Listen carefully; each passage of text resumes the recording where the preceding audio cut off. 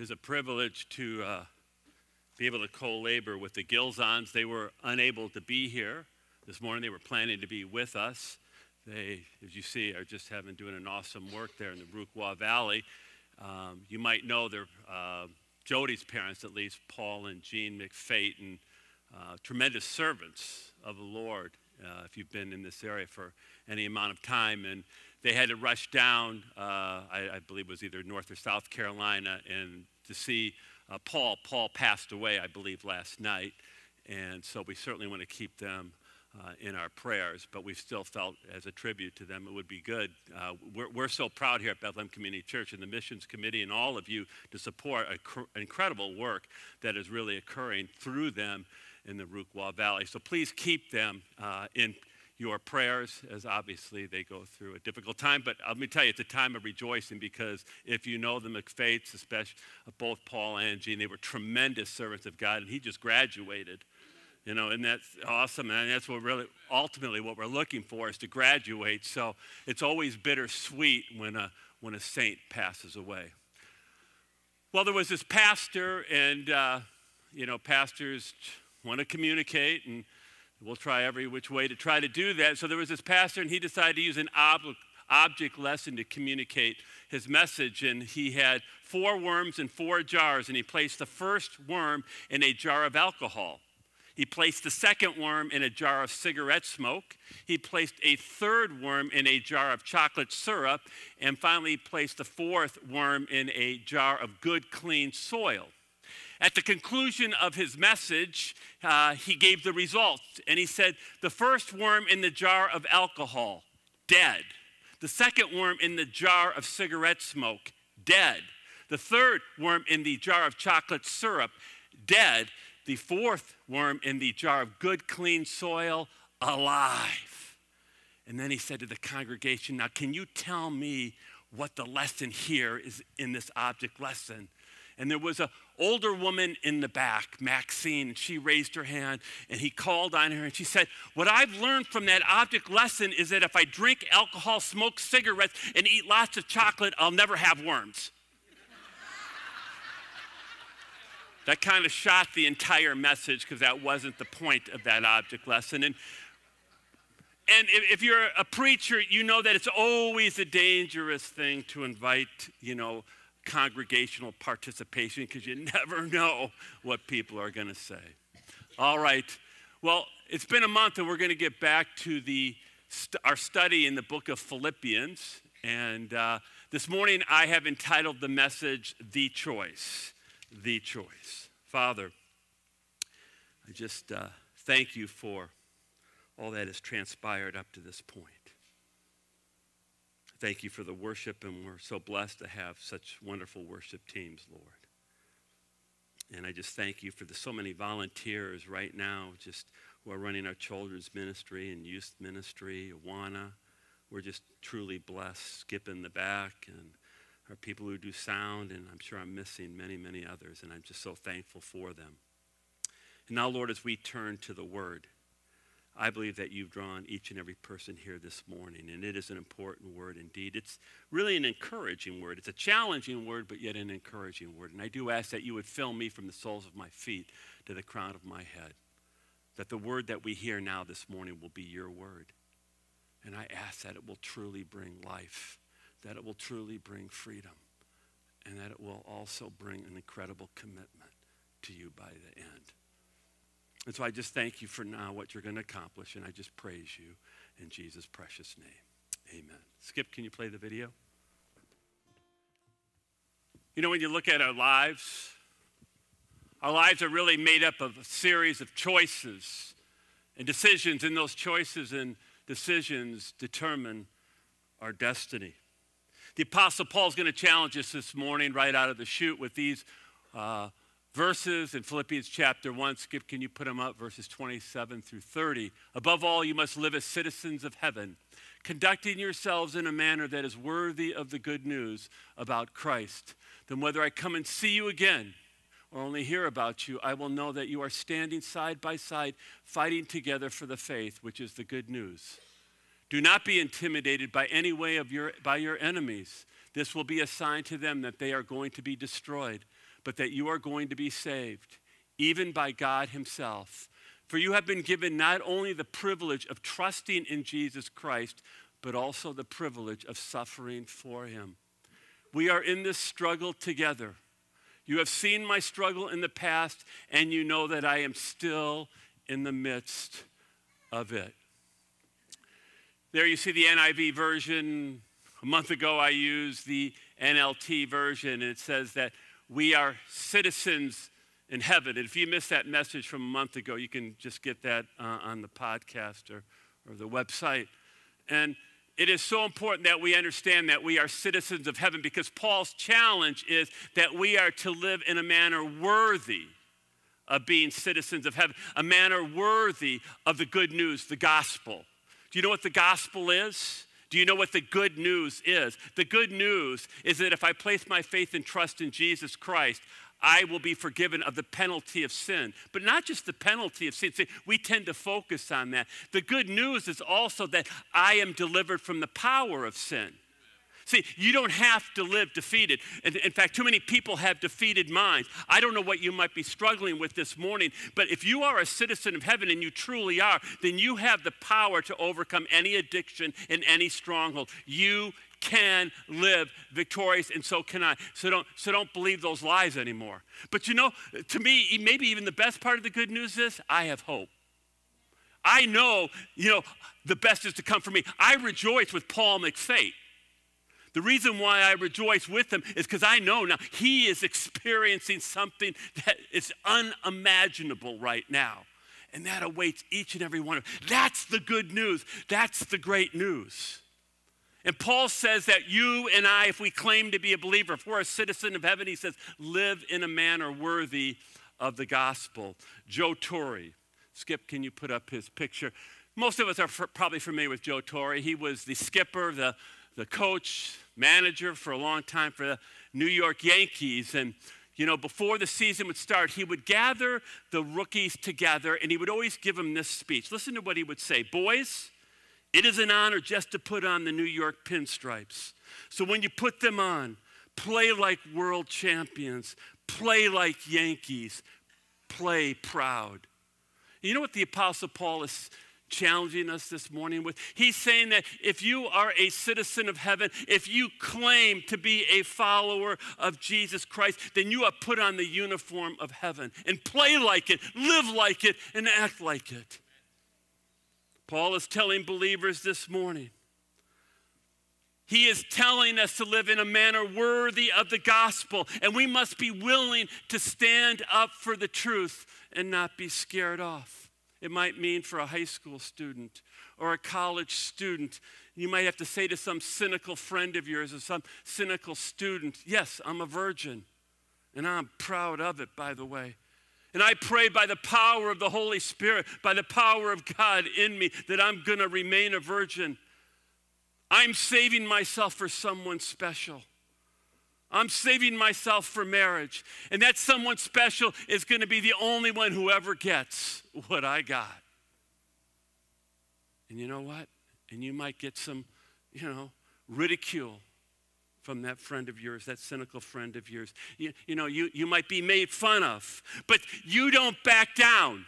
Because, see, you're a citizen of the king. You're a citizen of heaven, and you know his truth.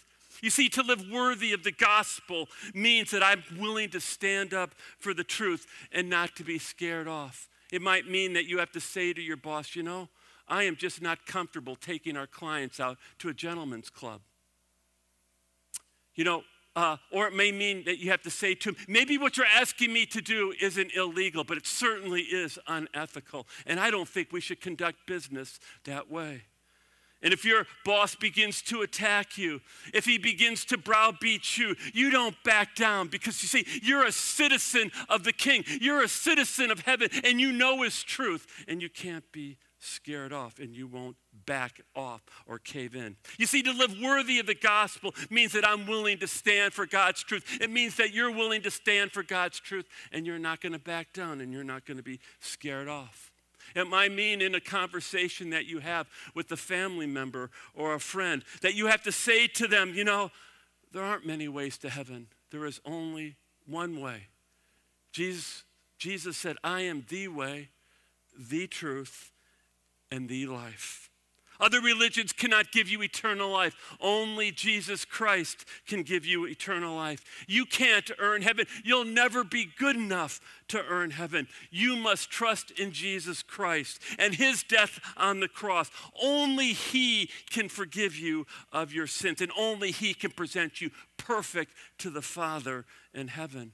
And if that person begins to get hostile, if they begin to get agitated and they cry out to you, How can you be so narrow minded? You gently just respond Truth is narrow. Two plus two is four. And the only way that you can ever be connected to the Father in heaven is through Jesus Christ and his cross. Only he and he alone paid the penalty for your sin. Skip, can you put up that picture? Just let that sink in. You see, to live worthy of the gospel is to be willing to stand up for that truth, is to be willing to stand up for Jesus Christ and not to be scared off. Paul tells us this morning do you realize that the unbelievers out there, they're watching every single one of you? The unbelievers of this world are watching every single one of us. The old adage is true. Most of us are the only Bible that the non churched, the non Christian will ever read. And you know what the question is? The question is what Bible are they reading? What Jesus are they seeing when they see our conduct, when they see our behavior? Well, now that we're all sufficiently convicted, the Apostle Paul moves on to verse 28, and he says this. Listen to what he says. Don't be intimidated in any way by your enemies. Now, watch what he says. This will be a sign to them that they are going to be destroyed. Do you understand what Paul is saying here? Paul is saying that when you and I will stand for the truth, when we will not be scared off, when we will stand up for Jesus Christ, and we will not under any circumstance, it doesn't matter how much ridicule, how much harassment, we will not back down in any way, shape, or form. No amount of punishment can intimidate us because you see, when we do not back down, we leave a disturbing impression on the unbeliever.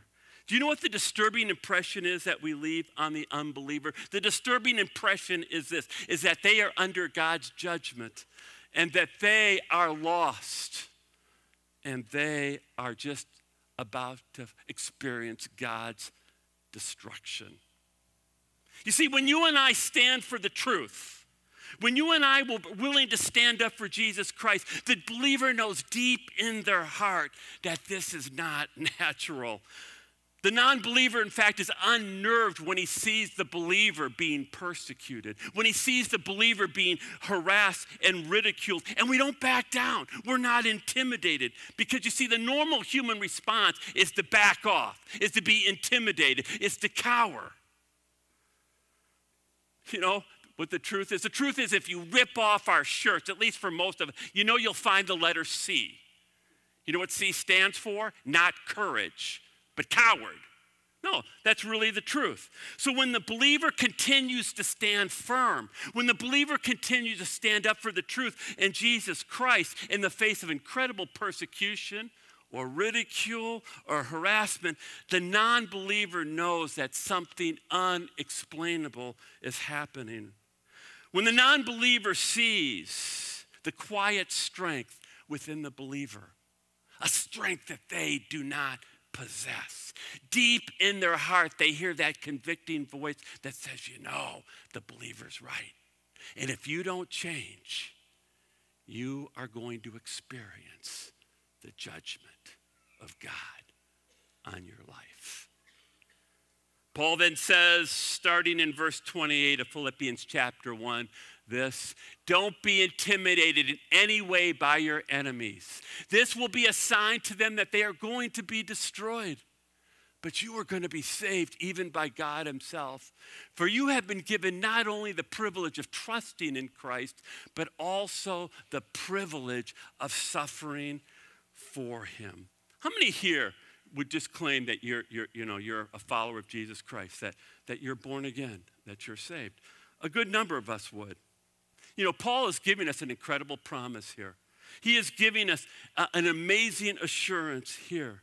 He is telling us that when we stand for the truth, when you and I will stand up for Jesus Christ, and we will not back off, we will not be intimidated. He is telling us that the Holy Spirit will supernaturally confirm to our spirits that we're saved, that we're really Papa's child, that we're destined for the kingdom of heaven. And you know what? That Papa is pleased with us. You know, you might be wondering as you look at those verses, why does our standing firm in the faith, in the face of suffering, in the safe, in, you know, in the face of persecution, why does it become proof that we are genuinely saved? And the short answer is this suffering, persecution is God's way of identifying those that are His.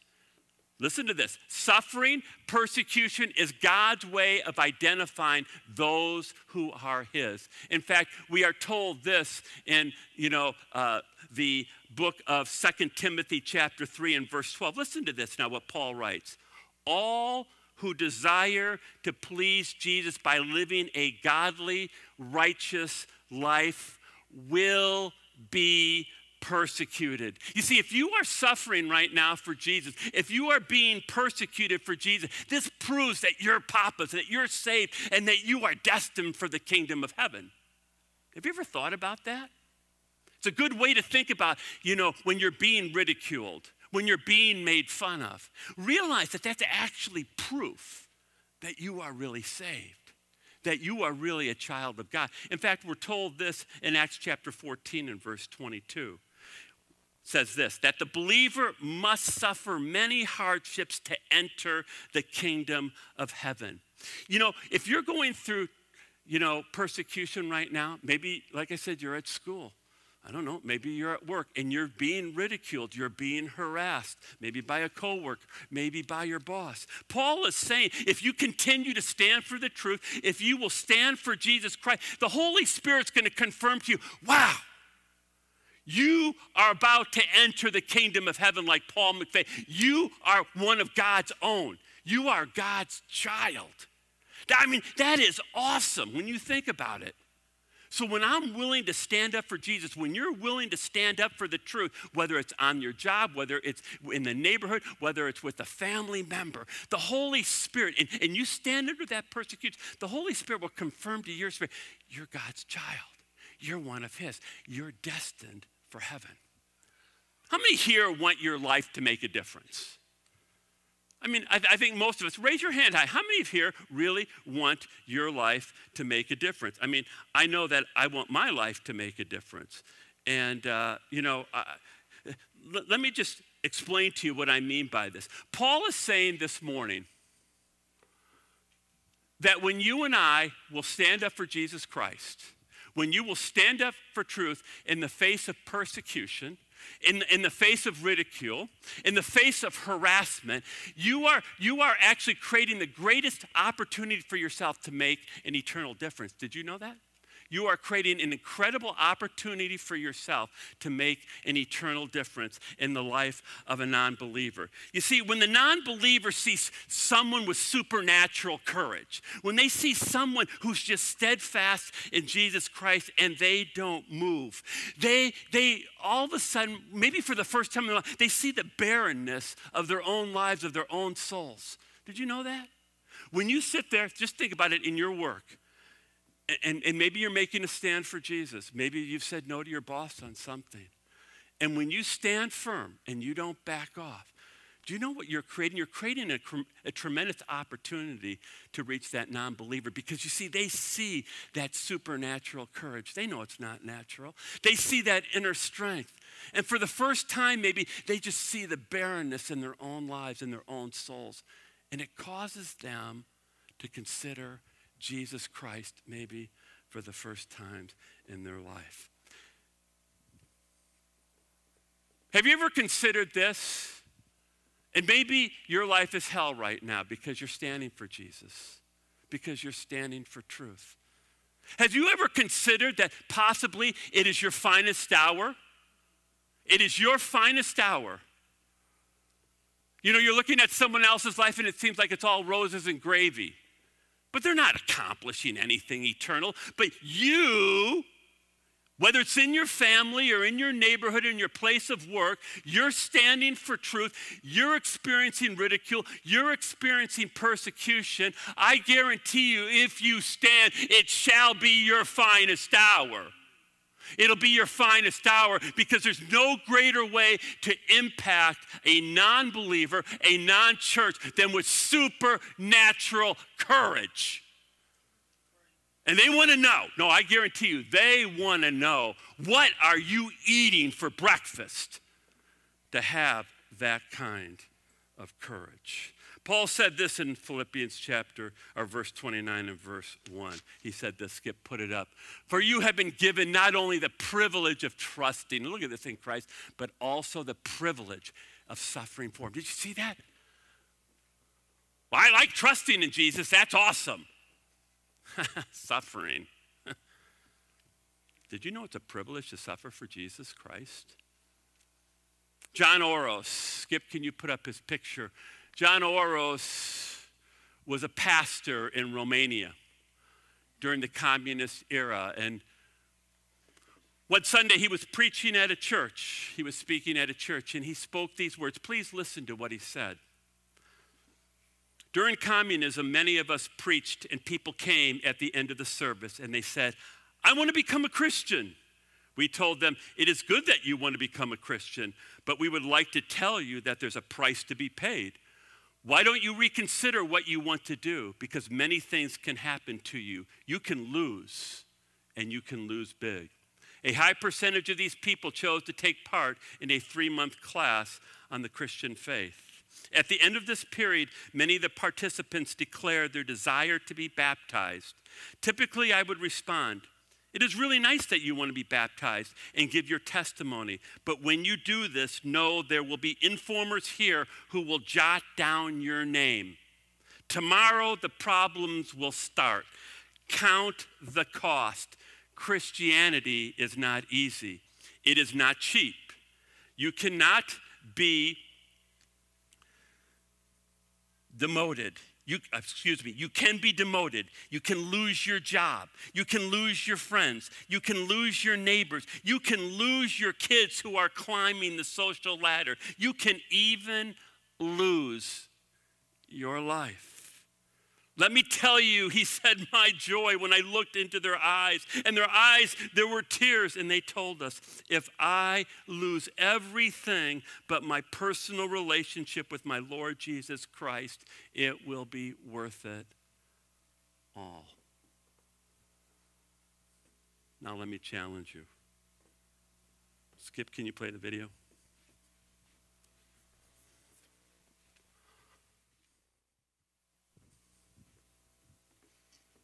So, what have you decided?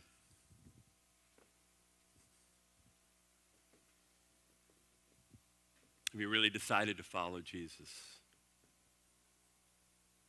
It's the greatest choice you'll make. But even Jesus himself said there would be a cost to it.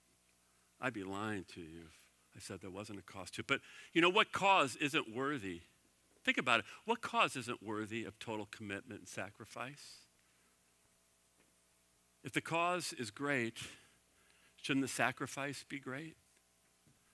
If the cause is worthy, then shouldn't our sacrifice be worthy of that cause? Well, there's no greater cause.